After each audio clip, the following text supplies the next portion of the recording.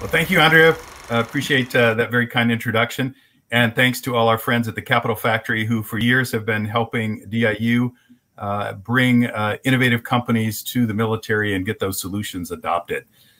I'm very excited today to introduce to you my new boss, uh, Ms. Heidi Shyu, the Chief Technology Officer of the Defense Department. And she's really perfect for this role. She's had experience in government at a very senior level, the Assistant Secretary of the Army uh, for Logistics and Technology, or ASALT, uh, if you like the acronym, and also uh, some experience from the private sector, where she's been the VP of Technology Strategy for Raytheon's Airborne Systems. In her confirmation hearing at the Senate Armed Services Committee just a few months ago, she emphasized the role of non traditional innovative companies to serve national security challenges, which is really what Fed Supernova is all about. And I can tell you uh, firsthand, she's bringing uh, a new level of energy to the Pentagon, both in sponsoring adoption of commercial technology, as well as in a key role that we'll, we'll spend some time digging into. She's leading for the Deputy Secretary of Defense the Innovation Steering Group, whose mission is to scale innovation across DoD.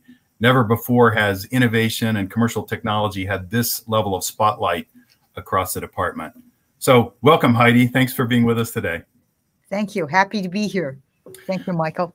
So, let's talk a little bit about uh, your role as Chief Technology Officer for the Defense Department. Tell us a little bit about uh, how you spend your time and how you're thinking about priorities in that role. Sure. Um, before I jump into that, if I may just kind of describe the organization, research and engineering, what we do. We have multiple different organizations. Let me just uh, shed a little bit of light about what we do. Okay, then I can dig into the details. Perfect. Uh, uh first of all, my goal is to harness this nation's incredible amount of innovation, right?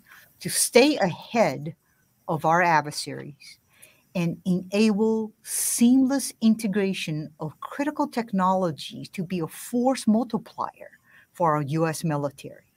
That's my goal. Okay. And within the research and engineering organization, you've heard about DARPA, which is a Defense Advanced Research Projects Agency. And their role, they've been around here more than 50 years. Okay. DARPA's role is to create advanced technologies that provide revolutionary advantage to the warfighter. Okay. Uh, DIU, of course, Michael Brown is the lead, the director of Defense Innovation Unit, was created under Dr. Ash Carter to bring dual use commercial technologies to the military for an obvious reason.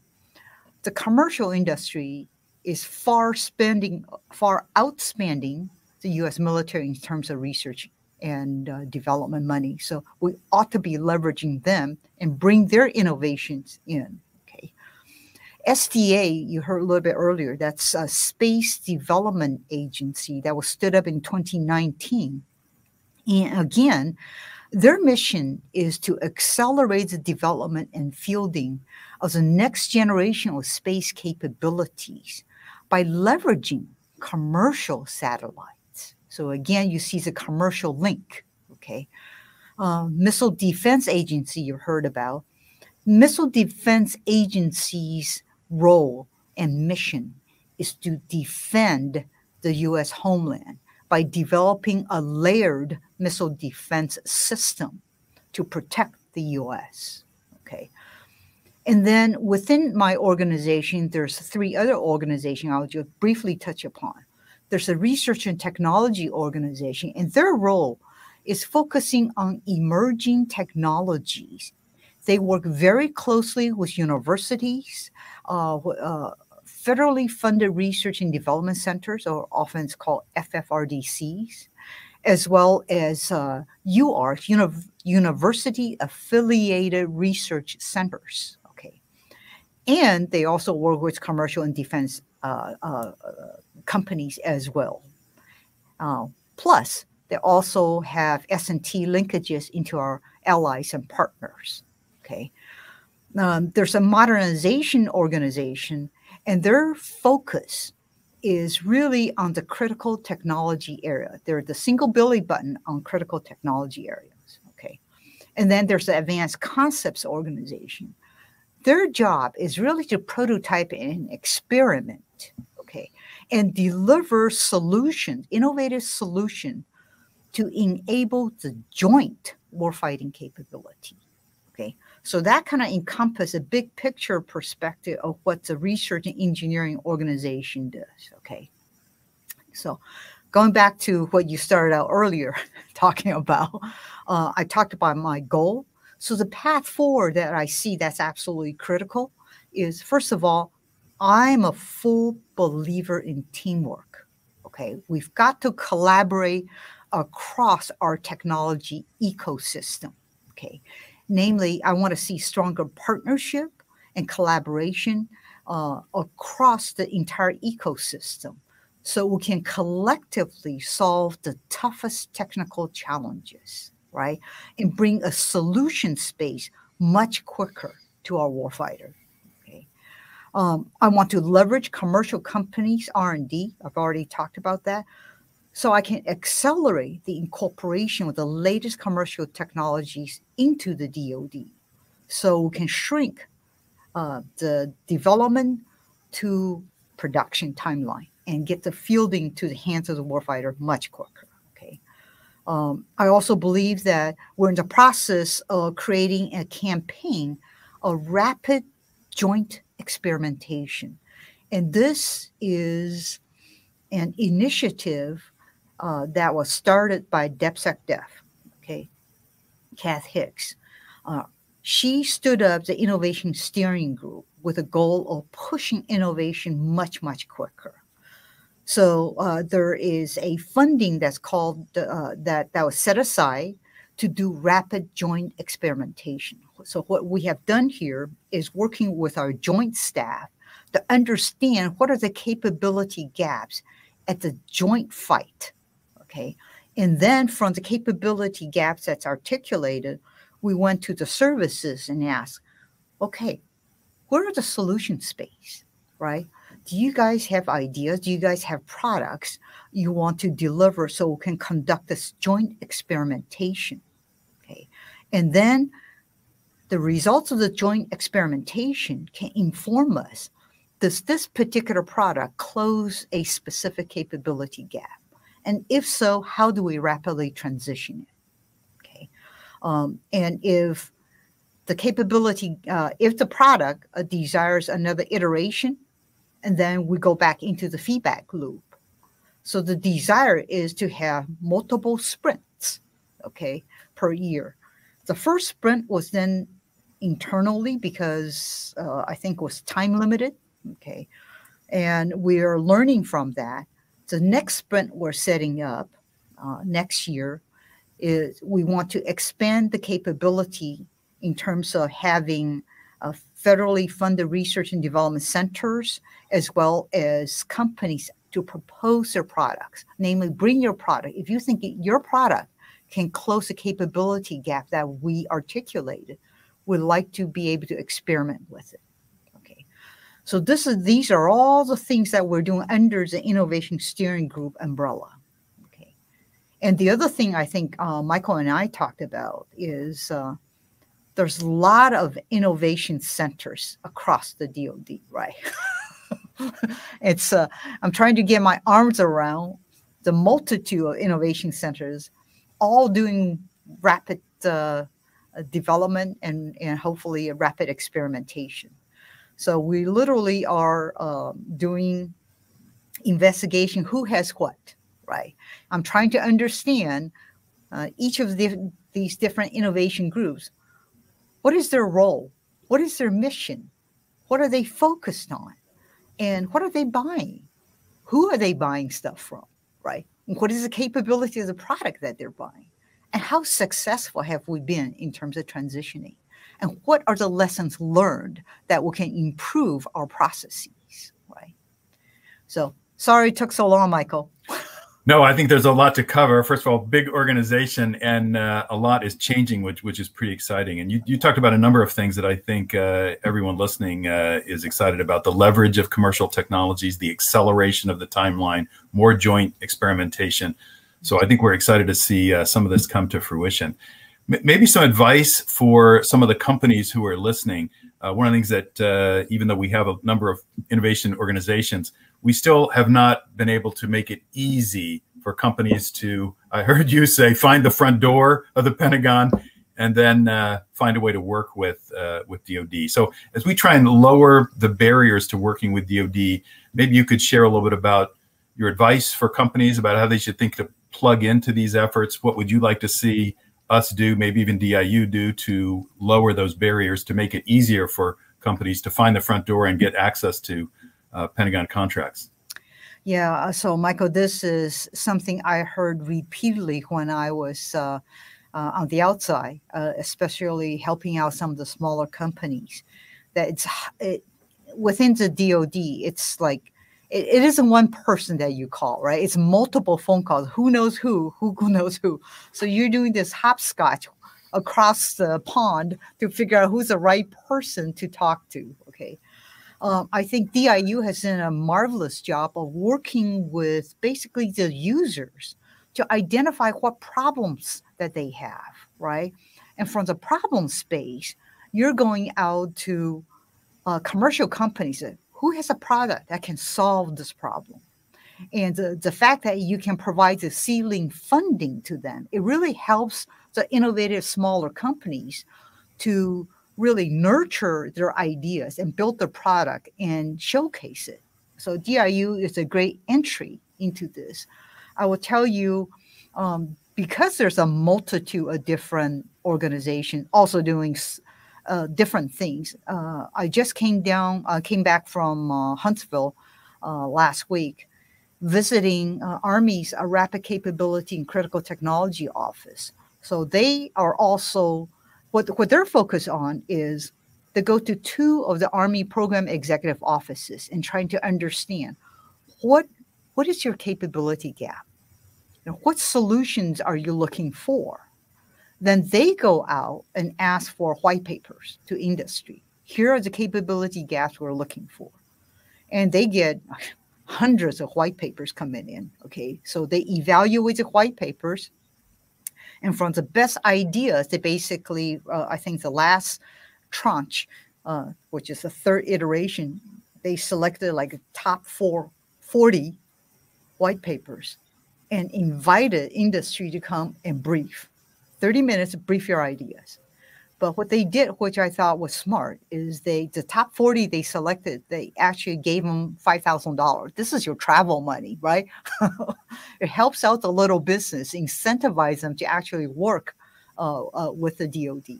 Okay, then the top 40 are coming in, and and by the way, people sitting on the source selection, namely who who has the best idea, are the users the program executive office folks who are who are looking for these ideas they're saying hey this is really great. I want this company to be funded. So they've plugged in the user group the, uh, and the acquisition folks with the um, uh, rapid capability and critical technology office. So they have three different entities tied together. And so once they do the final down select there those are people they rapidly give contracts to. Okay so so that's working quite well. Uh, but uh, I'm in the process trying to understand what are the other organizations doing. At the same time, I want to let you know Jen Bird, who's on my innovation steering group. I've asked her to go, reach out to the Small Business Technology Council because they actually have tens and thousands of small companies that they represent. So I said, and I had a one hour phone call with them uh, that was prior to confirmation, and to understand, you know, what what are the impediments that small companies have, and what are the things we can do differently. Okay. Uh, one other thing, just to let you know, we're going to be requesting legislation on the Hill to give us the ability to fund uh, multiple tranches of the, the small business innovation research uh, funding. There's SBIRS 1, which is usually 500K, SBIRS 2 up to one and a half million. Uh, usually what happens after that, unless a program office picks up, you fall into the valley of death. Uh, we're proposing to have multiple phase two tranches money to continue to mature the technology to basically pave over the valley of death, right? okay. So we're definitely all years in uh, wanting to hear about some additional challenges and help us to to come out with ideas to help out the small businesses. I'm sure that's uh, welcome to everyone listening. Uh, two ways I think uh, that we're looking to pave over that valley of death. Uh, the DIU has started the National Security Innovation Capital Initiative this year, deploying the first funds that Congress allocated so we can get more uh, we can catalyze more private investment in dual use hardware technologies because our venture capital and uh, private capital uh, through uh, uh, whether it's uh, venture private equity, et cetera, adequately funds our software industry. But the military needs hardware, and that's been hard capital to come by, except from adversaries. So we're looking to be able to find friendly sources of future hardware technologies and get those vendors going, areas like batteries, quantum sensors, things like that. Yeah. Then also exciting this year in the NDAA uh, is the Warfighter Innovation Scaling Fund. So prototypes that are successful that we might work on. Now there's a fund, if the appropriations uh, follows, to be able to take successful prototypes and make sure there's money to scale those ahead of uh, uh them being programmed in the, the Pentagon budget cycle, of what we call PPB&E. So I think a lot of efforts underway to pave that uh, valley of death that we're looking forward uh, forward to doing. Let's let's shift a little bit to the future. So uh, uh some of the priorities that you have for the future, technology areas that companies might want to be thinking about as they plan their investments, so that uh, where they're investing can help us in the national security space. Yeah, you bet. Thanks for asking. Uh, I think the first thing that I, I'm very much interested in. There's been you know billions of dollars that's spent on AI and ML as well as the autonomy area. What I'm interested in is the development of a trusted AI ML, trusted autonomy, because the first time this uh, uh, this unmanned platform does something that the user didn't anticipate you're going to lose trust in this unmanned system, right? So I want to have uh, the ability to have trusted AI, ML, trusted autonomy. Okay. Uh, the other uh, priority area I think is very important for me is, you know, we typically have signal intelligence, radar systems, electronic warfare systems, cybers. They're all in different stovepipes. Okay. But to we need now to operate at the intersection of those capabilities to address the advanced threats. You don't have the time or the leisure to say, I detect a bad guy, then I'm going to track it, and then I'm going to do something against it in terms of electronic warfare. you've got to do it much, much quicker, right? So our system has to be designed so so that it can operate in the intersection of those capabilities. Okay. Um, clearly, resilient networks is critical uh, because if your network goes down, you're not able to connect, and that's uh, that's a bad day, right? so, resilient network, command, control, and communication uh, to enable us to have the seamless connectivity is critical. Okay. Um, I will also talk about the other thing that I'm very interested in is AR, VR, and live training. Is uh, this technology is really maturing by the game gaming industry, right? I want to be able to leverage the technology, technology, commercial technology that's out there, and figure out how we can leverage that to to enable us to have distributed operations so we can enable rapid mission planning and command and control, right?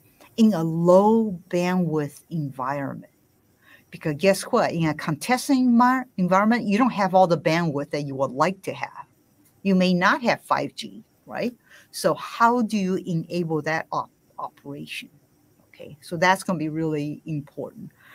Um, of course, uh, in the area of directed energy, I'm interested in high energy lasers. Okay, uh, I'm also in, interested in high power microwave.